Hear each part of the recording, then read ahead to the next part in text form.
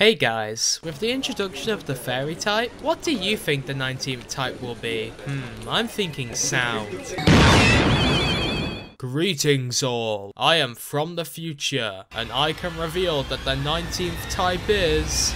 all of them combined. What? So Pokemon World's just wrapped up, and of course with the closing ceremony comes a trailer about the Scarlet and Violet DLC. In this trailer we saw brand new Pokemon Iron Crown and Raging Bolt in-game for the first time. Sadly though, the Electric Giraffe was not the most captivating part of the trailer. That award goes to the brand new way of terastallizing Pokemon that turns them into something we've never seen before. And this is very interesting to me because, well, the terastallization mechanic changes your Pokemon's type, which means if we can't identify what it is, then... Oh my god, calm down, this might be the 19th Pokemon type. And you know what else makes me hyped? Take a look at this lovely specimen right here. Wait, not that, I meant this. Because Opera GX is on a quest to make your browser less boring. GX mods give you all the customization you want and then some. I'm talking wallpapers. Wallpapers with added music, keyboard sound, sounds, and opening and closing tab sounds, all of which you can turn on and off whenever you like. There's always tons of new mods being added to the GX store, which can be found through the mods tab on the side here, like this Gengar mod that comes equipped with Pokemon sound effects. But why else should you install Opera? Well, if you like a good bargain, the GX Corner provides you with a handpicked list of new releases for every single console. Let me just switch to Switch here and bang, there's the game I'm talking about. Opera is also integrated with every messenger app under the sun, such as WhatsApp and Discord. And if live streams are more your thing, you can log into your Twitch through the browser and have it notify you when your favorite streamer is live. You also won't miss your Chrome extensions, because Opera is compatible with all of them, and they can even be installed directly from the Chrome store. So, what are you waiting for? Use the link in the description to install for free today. And thanks again to Opera GX for sponsoring this video. As you'd expect from any fandom, people immediately began speculating on Twitter what this could be, with a healthy amount of misinformation spreading there too because, well, it's on Twitter. I think it's every type in one. I think it gives you a combined move that has both your Pokemon's types, and my personal favourite, it being the question mark type.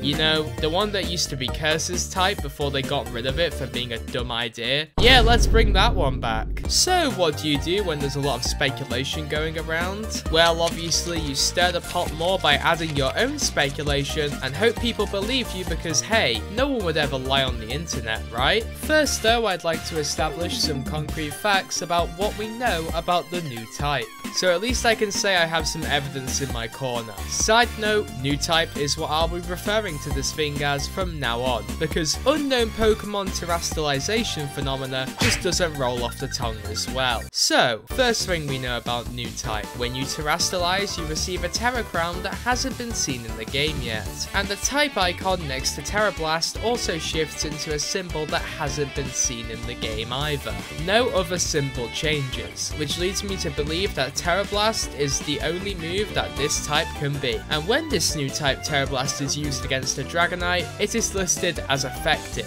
which means neutral damage in the type chart.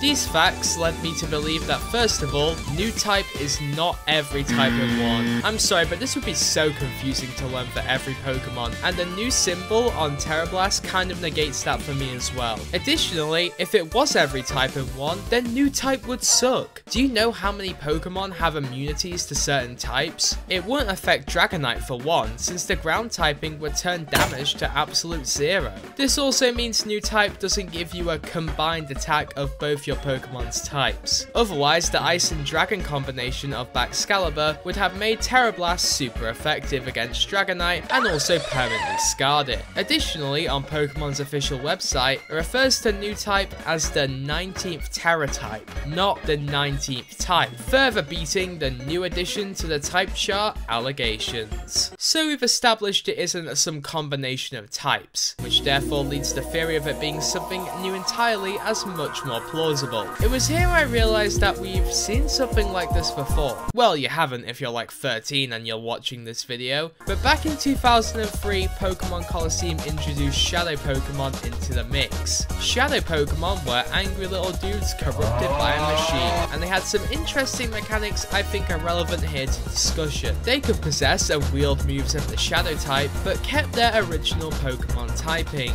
No one, not even Shadow Lugia, was ever a Shadow type Pokemon. In XD Gale of Darkness, Shadow moves were super effective on every Pokemon except Shadow Pokemon themselves. I bring this up because it's an example of a type that solely interacts with a phenomena in a game without the main type of the Pokemon changing.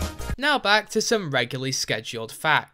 We know new type will be introduced in the Indigo Disc DLC, since in the trailer we are battling inside of the Blueberry Academy. This DLC focuses around the Pokemon Terapagos, who in the Scarlet and Violet books is heavily implied to be the causer of terastallization, and even has a form that looks very similar to the Tera Crown that new type grants the Pokemon. As part of my research, I looked at an example of the interaction between a new game mechanic and set Pokemon that created the mechanic according to lore. In Sword and Shield, Eternatus is revealed to be the reason why Dynamax Pokemon exist, and one of this weird alien's signature moves is Dynamax Cannon, a move that looks like your standard dragon attack, but also gives a double boost to Dynamax Pokemon. If Terapagos really is responsible for terastallization, then what if we could see a similar interaction here? I propose that new type will deal neutral damage to all Pokemon, such as the Dragonite in these screenshots. But if said Pokemon terastallizes, then it will deal super effective damage no matter what type they transform into. You wouldn't gain same type attack bonus from this type though, as when you transform, your original type would stay the same. This is similar to how in Pokemon Colosseum and XD, Shadow Pokemon would not receive same type attack bonus for using Shadow moves. This would make it less strong than if you just used a strong super effective move on the terastallized Pokemon to hopefully balance it out a bit.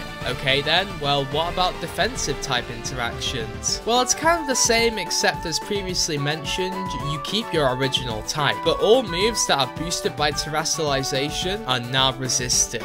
For example, a Sizzle with new type would still be cooked by Flamethrower, but resist said Flamethrower if the Pokemon using it terastallized into the Fire type. And of course, if a new type Tera Blast hit a Pokemon that was also new type, the damage would be neutral since the super effective of the terastallized target and the not very effective of the terastallized move would cancel each other out. Yeah, okay, it's kind of confusing, but to be fair, so is this turning into this, so. And I also think it's important to mention that in these video game closing ceremonies, we're usually seeing new things that are being added to the Pokemon video game series to balance out VGC. And a lot of recent play in VGC has actually been dominated by offensive terastallization, with Pokemon such as Flutter Mane, Urshifu, and Gholdengo being able to increase their already high damage stab moves to even more ridiculous levels. Introducing a new defensive counterplay to these extremely high damage moves may improve viability for defensive terastallization that hasn't seen much apart from dodging a cheeky Amoonguss's spore. But maybe I'm completely wrong and all this research was a waste of time. I'd love to know your guys' thoughts on what this new terastallization is, so leave a comment below and I'll respond to a couple of them. Thanks as well to all my patrons for supporting the channel, and this was Hmaz and I hope you enjoyed.